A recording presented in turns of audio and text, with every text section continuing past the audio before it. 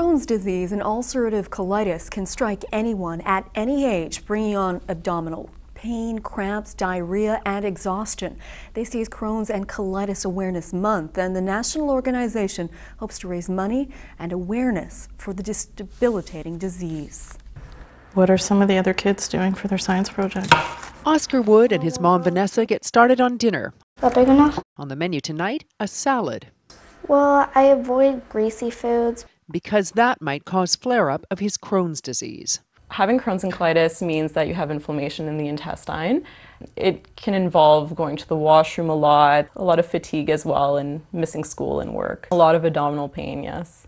At school, it's sort of hard for me because my stomach hurts. And like gym, because the going up and down when I'm running hurts my stomach as well.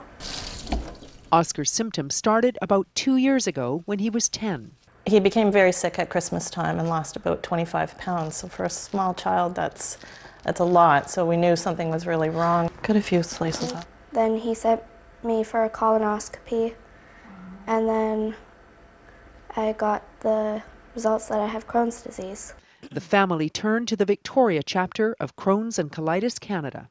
It's not until you're touched by something that you become more aware of it. We're starting up monthly discussion groups.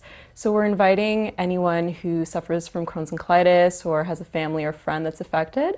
Uh, we're inviting them to come join us just to talk about um, talk about a bunch of different topics. We made apple muffins. I think any parent that has a child that's diagnosed with some sort of chronic illness, you just want to take on what your child is going through and you don't want them to have to suffer. What else have they taught you in foods class?